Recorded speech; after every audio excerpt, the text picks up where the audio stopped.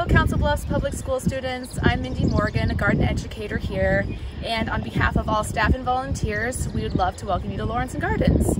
Uh, in today's video, we are going to talk about some featured sculptures in the pollination investigation event going on, and we're also going to discuss uh, some of our pollinator-friendly gardens that you can view. We'll also discuss the importance of pollination and what we can all do to attract bees, butterflies, and other pollinators to our own backyards. Thanks again for tuning in Lauritzen Gardens. Hi, I'm Kate and I'm also the garden educator here at Lauritzen Gardens. Have you ever been here before? Let's talk about what you can expect to see when you arrive this summer. When you come to explore, there are more than 20 outdoor gardens full of incredible plants and fascinating wildlife for you to enjoy and discover. The Hitchcock-Kunst Victorian Garden, for example, is a lush, formal space that resembles what gardens looked like during the rule of Victoria, Queen of the United Kingdom of Great Britain and Ireland from 1837 to 1901. This period marked the height of the Industrial Revolution, and many working-class families were finally able to enjoy a hobby only the wealthy could once afford, and convert their vegetable plots into beautiful, relaxing seating areas. As a rule, all Victorian gardens had to include trees, flower beds, vines, seating, and ornaments. Our garden features annual and perennial plants, a place to sit and enjoy the view, and artifacts from older buildings in Council Bluffs and Omaha.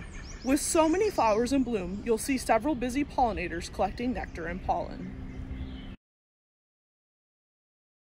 Garden in the Glen is another comfortable place to relax, especially on a hot summer day. With the trees overhead, you can cool off with the shade-loving hostas and ferns while listening to a peaceful, meandering stream and walking across the stone bridges. What pollinators would you expect to find here? To give you a hint, the small birds that beat their wings about 50 times per second love tubular hosta flowers. Other gardens to check out are the Arrival Garden, Woodland Trail, Festival Garden, Woodland Waterfall, Arboretum and Oberman Bird Sanctuary, Model Railroad Garden, Children's Garden, Japanese Park, Herb Garden, Founders Garden, Conservation Discovery Garden, Rose Garden, Tree Peony Garden, English Perennial Border, The Color Burst, Spring Flowering Walk and Song of the Lark Meadow, and finally, the Garden of Memories.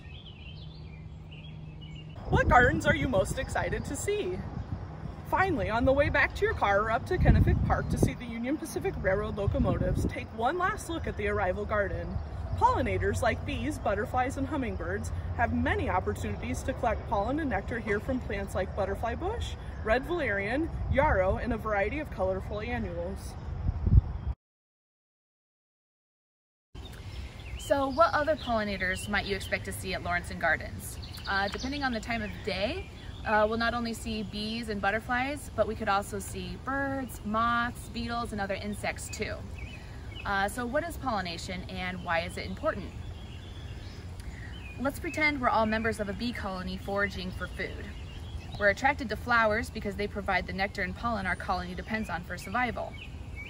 While buzzing around on colorful flowers with pollen stuck to our fuzzy bodies, we may accidentally brush up against pistils, female reproductive parts, and stamens, male reproductive parts, and without knowing it, transfer pollen from one flower onto another. This plant will then be able to produce fruit or seeds.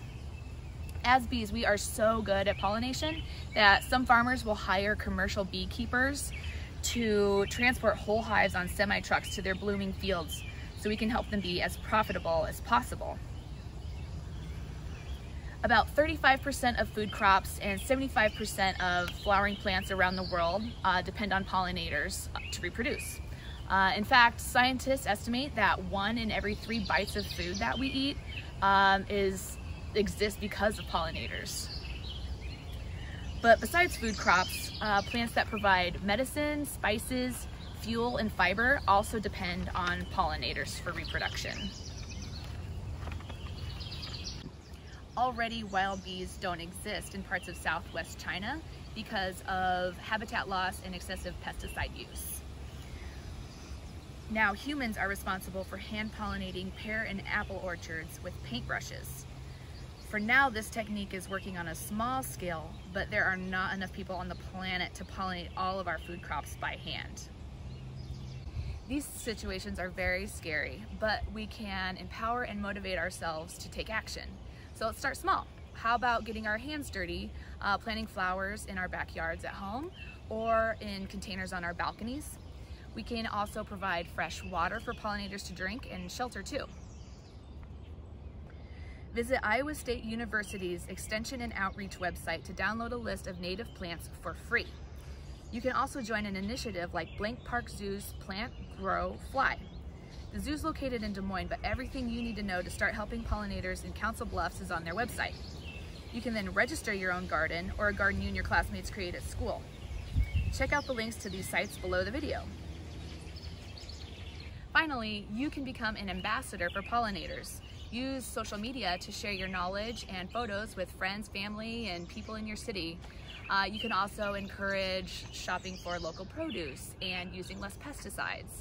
Um, so there's something all of us can do to uh, help our pollinators out. So um, now let's take a look at pollination investigation going on now until September 7th. Everyone, my name's Shelby and I'm the volunteer coordinator here at Lauritzen Gardens. During pollination investigation, our goal is to bring attention to invaluable pollinators and inspire others to save their populations. Our talented staff, along with one outside team member, teamed up to create 21 impressive sculptures for you and your families to discover. Each of these impressive pieces of art took anywhere from 10 to 25 hours to finish and are made of clay, wood, plastic, chicken wire, and paper mache, along with a variety of recycled materials. Come see if you can find each one and guess what the artists used to create their sculptures. One of the sculptures you will find is the lesser long-nosed bat. Did you know that this animal's tongue is three inches long? That's the entire length of its body. These bats are the unsung heroes of the fragile desert ecosystems in the southwest United States and northern Mexico. At night, they are attracted to fragrant cacti flowers and use their long tongues to lap up the nectar and unintentionally cover themselves with pollen. Pollination then occurs as they continue feeding, flying from flower to flower. Another interesting sculpture is the tumbling flower beetle. When threatened by a predator, this beetle will tumble and move erratically in order to escape danger. And unlike the lesser long-nosed bat, this insect feeds on pollen instead of nectar. Magnolia trees, like what we have on display in the conservatory and in the magnolia grove surrounding the store's gazebo, were among the earliest flowering plants and beetles were some of the only pollinators that existed millions of years ago. As these insects pollinated magnolia flowers, they used their mouth parts to chew versus gather pollen, and so the petals evolved to be leathery in order to survive the damage. Next time you see a magnolia in bloom, compare its petals to other flowers to really feel how tough they are. Please stop out and visit us at Lauritzen Gardens this summer. We want to know which sculptures you love and we also want to know which gardens inspire you. We'd also love to see photos that you take of the pollinator gardens that you create at home. Once again, check out the links below to Blank Park Zoo and Iowa State University's Extension and Outreach. Below the video, you'll also find a quiz to test your knowledge, more helpful websites, and titles of a few incredible books. These are excellent resources for those who want to dive deeper into pollinator gardening. Thank you so much for joining us today at Lauritzen Gardens, and we hope to see you soon.